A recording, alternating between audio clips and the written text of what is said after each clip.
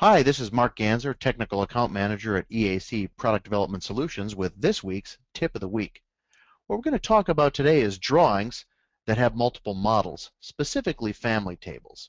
Now, let's say I've got a, a view here on this drawing. All these views were made from one instance of a family table, and I get to this point and I go, oh, oh man, I made, I made these views from the wrong instance. I've done all this work.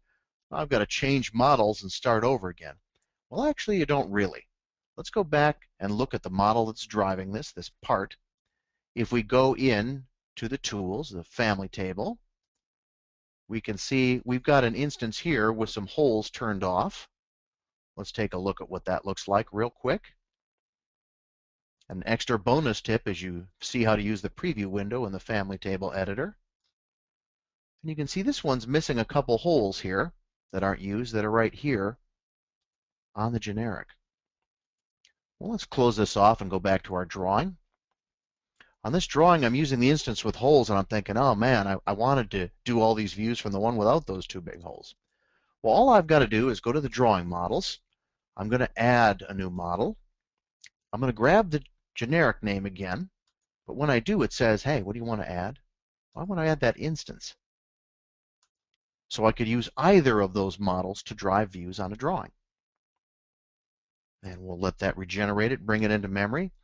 So when I say I want to set what model I'm using, you can see we've got two of these. Now we've got another command. I'm driving all of these from that existing model. So I can go into drawing models. I can say, I want to replace one of the models I've been using to drive views with another. Say, I want to replace this 2D one with the holes. I want to replace it with the no holes and it's going to crank those up and regenerate those and you can see it preserved all of my views, all the dimensions, all the work I've done, but it's now using this no holes instance to drive it so the holes are gone. So you haven't lost all the time and effort you've been in documenting. Now if you have any questions on this tip or any of the other tips, contact us at EAC or better yet, leave a comment in the comment section under this video.